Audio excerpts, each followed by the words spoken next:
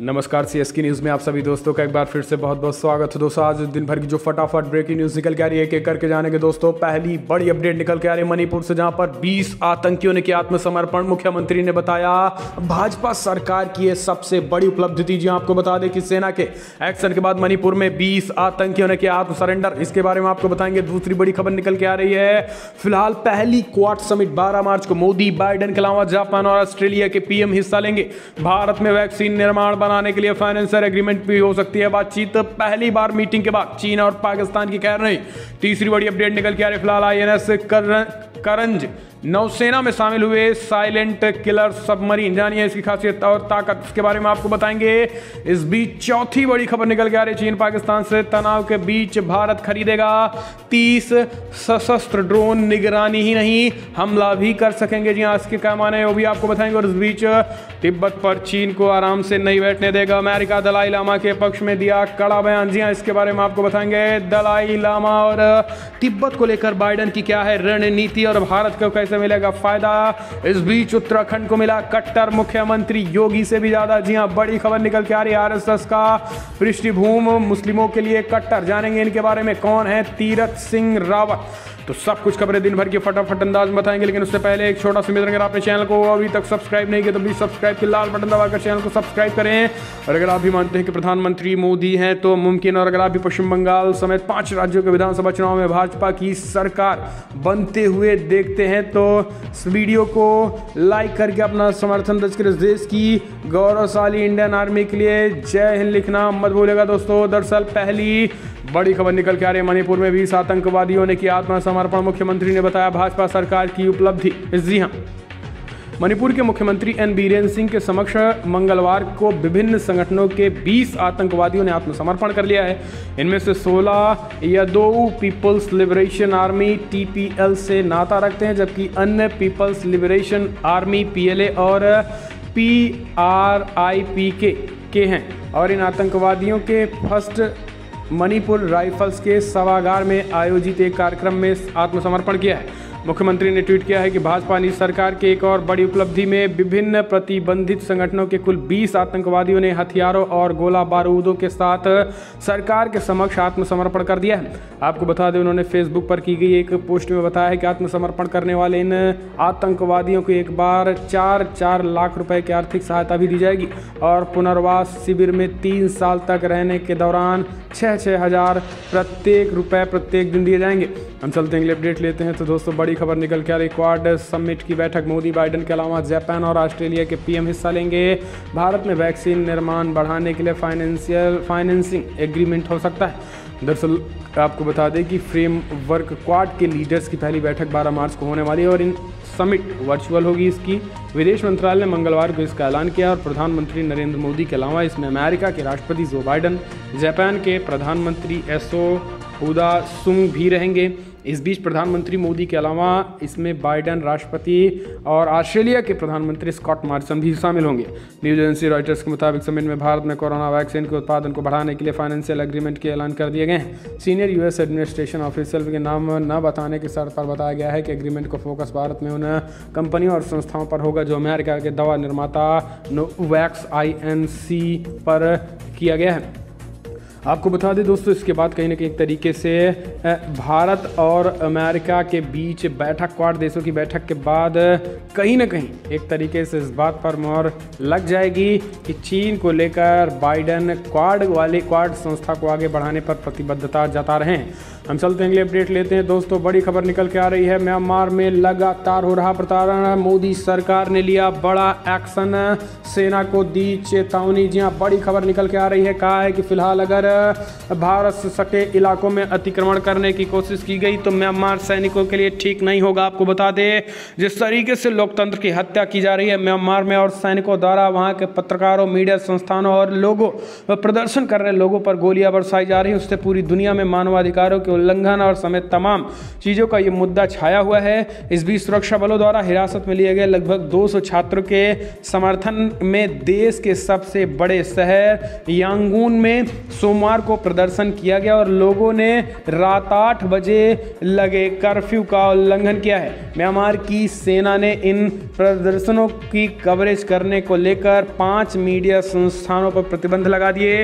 आंग सांसू की चुनी हुई सरकार को पिछले महीने हटाकर सेना द्वारा किए गए तख्ता फलट के विरोध में हर दिन म्यांमार के नागरिक विरोध प्रदर्शन कर रहे हैं। सैन्य सरकार के इसके मीडिया कवरेज पर भी कड़ी प्रति, कड़ा प्रतिबंध लगा दिए हैं। आपको बता दें कि पाँच स्थानीय मीडिया संस्थानों मिजिंगमा और डीजीपी स्थित मीडिया म्यांमार नाव और सेवन डे न्यूज़ के लाइसेंस रद्द कर दिए गए और सरकारी channel M R T V पर कहा गया है कि फ़िलहाल इन मीडिया कर्मियों को किसी भी मंच या तकनीकी के से प्रसारण करने की अनुमति नहीं है। तो ये बड़ी खबर, हम चलते हैं अपडेट तिब्बत पर चीन को आराम से नहीं बैठने देगा अमेरिका। दलाई लामा के पक्ष में दिया बड़ा बयान। जी हाँ अमेरिका के राष्ट्रपति जो बाइडन के ने कार्यालय के शुरुआत से ही ये साफ़ कर दिया है कि उनका प्रशासन चीन को लेकर किसी भी तरीके से नरमी नहीं बरतेगा। अब बाइडन प्रशासन ने कहा है कि चीनी सरकार की तिब्बती आध्यात्मिक गुरु दलाई लामा का वारिस चुनने की प्रक्रिया में कोई भूमिका नहीं होना चाहिए। अमेरिका के इस रूख से ये साफ़ हो गया है कि वो तिब्बत को लेकर चीन की जिनपिंग सरकार को आराम से नहीं बैठने देगा। चौदहवें दिलाई लामा 17 मई उन्नीस को लहासा से भागे थे और वो उसके बाद करीब एक साल बाद से अरुणाचल प्रदेश में शरण लेकर रह रहे थे। दलाई लामा को शरण देने को भी उन्नीस के युद्ध में एक बड़ा कारण माना जाता रहा है। आपको बता दें कि अमेरिका विदेश मंत्रालय के प्रवक्ता नैन्स प्राइस ने रोज़ाना होने वाली प्रेस कॉन्फ्रेंस के दौरान कहा है कि हमारा मानना है कि चीन की सरकार की तिब्बती आध्यात्मिक गुरु दलाई लामा का वारिस सुनने की प्रक्रिया में कोई भूमिका नहीं होनी चाहिए। तो दोस्तों अमेरिका ने इस पर कड़ा फटकार रखा हम चलते हैं। अगले अपडेट लेते हैं आई करंज करंज नौसेना में शामिल हुए साइलेंट किलर सबमरीन। इसकी खासियत क्या है और ताकत? दरअसल देश की समुद्री ताकत को बढ़ाने में आज का दिन बेहद महत्व माना जाने वाला है। बुधवार को मुंबई में स्कॉर्पियन श्रेणी की पनडुब्बी आईएनएस करंज भारतीय नौसेना में शामिल हो गई है। नौसेना स्टाफ के प्रमुख एडमिरल करमबीर सिंह करम बीर सिंह और एडमिरल सेवानिवृत्त वी एस शेखावत की उपस्थिति में आईएनएस करंज की नौसेना के बेड़े में शामिल किया गया है। आईएनएस करंज के नौसेना में शामिल होने के बाद हमारे देश की समुद्री ताकत कई गुना और बढ़ गई है। आईएनएस करंज को साइलेंट किलर भी कहा जाता है, क्योंकि ये बिना किसी आवाज़ के दुश्मन के खेमे में पहुंचकर तबाह करने की क्षमता रखती है। आईएनएस करंज के नाम के पीछे की कहानी भी काफ़ी दिलचस्प है। आईएनएस करंज के हर अक्षर का एक मतलब है, यानी के से किलर इन एक तरीके से ए से आत्मनिर्भर भारत और आर से रेड्डी ए से एग्रेसिव एन से निम्बल और जे से जोश। यानी एक तरीके से आई एन एस करंज पूरी तरीके से इस नाम में ही एक ताकत छिपी हुई है।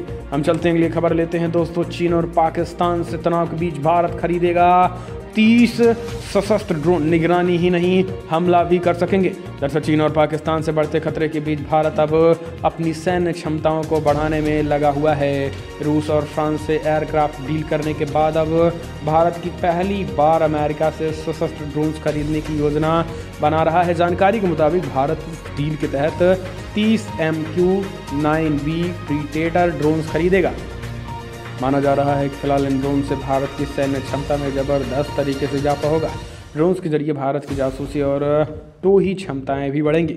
मीडिया प्लेटफॉर्म्स ब्लूमबर्ग के मुताबिक भारत और अमेरिका के सैन डिएगी आधारित जनरल एडमिन्स के बीच ये डील तीन अरब डॉलर की होगी और इस समझौते पर अगले महीने हस्ताक्षर हो सकते हैं। हालाँकि भारतीय रक्षा मंत्रालय और जनरल ऑटोमिक्स ने अभी इस मामले पर कुछ भी बोलने से इनकार कर दिया है। हम हैं अगले अपडेट लेते हैं तो दोस्तों तीरथ सिंह रावत होंगे अगले मुख्यमंत्री उत्तराखंड के मुख्यमंत्री के रूप में। कट्टर मुख्यमंत्री मिला है। जी हाँ कभी सोचा नहीं था ऐसा। दरअसल आपको बता दें कि फ़िलहाल उत्तराखंड में एक नया मुख्यमंत्री मिल गया है। इग्रोह में मुख्यमंत्री हैं तीरथ सिंह रावत। शपथ भी ले चुके लगभग। दरअसल तीरथ सिंह रावत उत्तराखंड के नए मुख्यमंत्री होंगे। देहरादून में विधायक दल की बैठक में उन्हें नेता चुन लिया गया है। तीरथ सिंह रावत गढ़वाल से सांसद हैं और वो भाजपा के प्रदेश अध्यक्ष भी रह चुके हैं। आपको बता दें कि त्रिवेंद्र सिंह रावत के इस्तीफा देने के बाद से कई नामों पर चर्चा चल रही थी, लेकिन विधायक दल की बैठक में तीरथ सिंह रावत के नाम पर मुहर लगी। बताया जा रहा है कि शाम चार बजे वो मुख्यमंत्री पद की शपथ भी ले सकते हैं। इस बीच बड़ी खबर निकल के आ रही है कि केंद्रीय मंत्री शिक्षा, केंद्रीय शिक्षा मंत्री रमेश पोखरियाल निशंक समेत तमाम नेताओं ने एक तरफ़ बधाई भी दी है। इस बीच अब आप इनके बारे में भी समझ लीजिए। दरअसल आपको बता दें, संघ के बेहद करीबी, छोटे से ही युवा राजनीति से ही संघ से जुड़े माने जाते हैं और एक तरीके से साधारण रहने वाले तीरथ सिंह रावत कट्टर भी हैं। देशभक्ति कूट कूट कर भरी है और ख़ास करके मुस्लिमों की तुष्टिकरण के नाम पर नथिंग है, यानी हम कह सकते हैं एक तरीके से मुस्लिमों का तुष्टिकरण इन्हें करना नहीं आता। न्याय तो करेंगे, लेकिन किसी की तुष्टिकरण नहीं होने देंगे और यही कारण है कि इन्होंने अब लव जिहाज से लेकर वह तमाम कानून अब उत्तराखंड में आने जा रहे हैं, जो सीएम योगी आदित्यनाथ जैसा ताबड़तोड़ एक्शन लेते हैं। यही कारण है कि गृहमंत्री अमित शाह ने ऐसे लोगों को चुना है उत्तराखंड में ताकि एक तरीके से वो जोश उत्तराखंड में भी आ सके। हम चलते हैं अपडेट ईडी के समन के खिलाफ। दिल्ली हाई कोर्ट पहुँची महबूबा मुफ्ती, बताया सुरक्षा उपायों का उल्लंघन। दरअसल ईडी के समन के बाद अब भागती फिर रही। हैं जी हाँ। दरअसल आपको बता दें कि फ़िलहाल जम्मू एवं कश्मीर की पूर्व मुख्यमंत्री महबूबा मुफ्ती ने मंगलवार को दिल्ली उच्च न्यायालय का रुख किया है।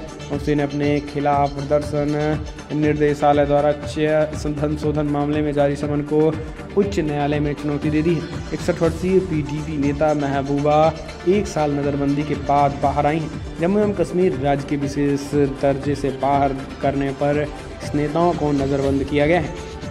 अब महबूबा के खिलाफ ईडी ने धनशोधन मामले में पूछताछ किए समन जारी कर दिए हैं। महबूबा को 15 मार्च को दिल्ली के ईडी मुख्यालय पर आने को कहा गया है और उच्च न्यायालय पर याचिका पर बुधवार को सुनवाई कर सकते हैं।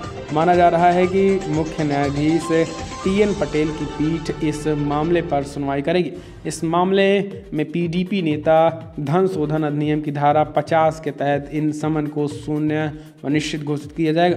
हम चलते हैं अपडेट। पश्चिम बंगाल में जारी की गई स्टार प्रचारकों की सूची, गोदी मोदी, योगी और मिथुन चक्रवर्ती होंगे शामिल। स्मृति ईरानी भी हैं। फायर ब्रांड नेता दरअसल भारतीय जनता पार्टी ने बुधवार को पश्चिम बंगाल और असम विधानसभा चुनाव में प्रचार करने के लिए अपने स्टार प्रचारकों की सूची जारी कर दी और इस सूची में प्रधानमंत्री नरेंद्र मोदी गृह मंत्री अमित शाह जेपी नड्डा यूपी के सीएम योगी आदित्यनाथ के साथ साथ स्टार प्रचारकों में नितिन गडकरी, रक्षा मंत्री राजनाथ सिंह, अस और अमित मालवीय, अमित चक्रवर्ती, अमिताभ चक्रवर्ती और स्मृति ईरानी भी शामिल है। नरोत्तम मिश्र, बाबूलाल मर्राणी रघुवर दास समेत बिहार से नेता तो कई ऐसे नेता शामिल हैं जो पश्चिम बंगाल चुनाव में ताबड़तोड़ रैलियाँ करेंगे।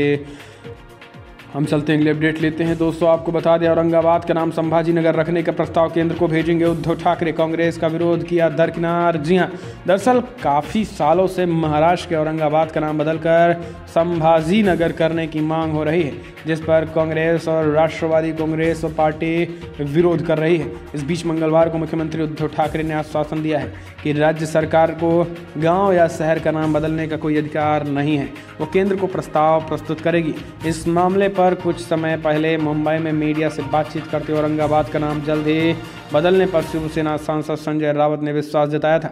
उनके शहर के नाम बदलने की मांग को लेकर अब सवाल किया गया तो उन्होंने कहा है कि औरंगाबाद का नाम संभाजी नगर तो किसी भी हालत में ज़रूर होगा। नाम बदलने पर कोई संशय नहीं है, लेकिन कांग्रेस इसका विरोध जता रही उसके बावजूद उद्धव ठाकरे का एक्शन। हम चलते हैं, अगले अपडेट लेते हैं। सचिन वाजे ने ही अर्णव गोस्वामी को घर से किया था गिरफ़्तार। संदिग्ध कार केस में उठे सवाल तो गिरी गाज। हुए ट्रांसफ़र, जी एनआईए को मिली जाँच। दरअसल, कारोबारी मुकेश अंबानी के घर के बाहर संदिग्ध कार मिलने के मामले में जाँच कर रहे पुलिस अधिकारी सचिन वाजे का उद्धव ठाक, उद्धव सरकार ने ट्रांसफ़र कर दिया। सचिन वाजे को सरकार ने क्राइम ब्रांच से ट्रांसफ़र कर दिया। संदिग्ध कार के मालिक मनसुख हीरेन की संदिग्ध हालात में मौत को लेकर सचिन वाजे पर सवाल उठ रहे हैं। यहाँ तक कि मनसुख हीरेन की पत्नी ने भी आईएफआईआर में वाड्रो को भी वजह को भी नाम लिया था।